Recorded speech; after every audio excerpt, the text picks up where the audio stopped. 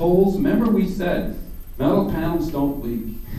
It's the holes and the joints. So avoid holes and joints every chance you get. How about a dormer without a valley?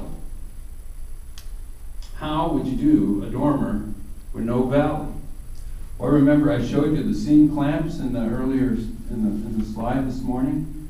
You just, this is just a piece of gingerbread. You just prefab it, paste it on with seam clamps.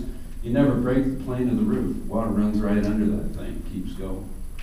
All that dormer was for was a little soil stack, to hide a little soil stack in there.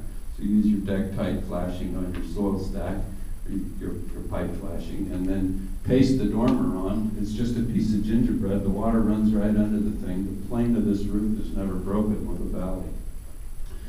Internal built-in gutter uh, detail, uh, not bad. It, it looks kind of crummy in this slide, but it cleans up real nice. This is lined with EPDM rubber and then a pre-finished cap trim on it that, that matches the roof panels. And in a northern climate, the black rubber lining uh, helps to keep it thawed and, and, and ice-free. Uh, so it's a good detail. Uh, uh I mean, as, as badly as I don't like built-in gutters, this is the best way that I know to do them. And it's not metal.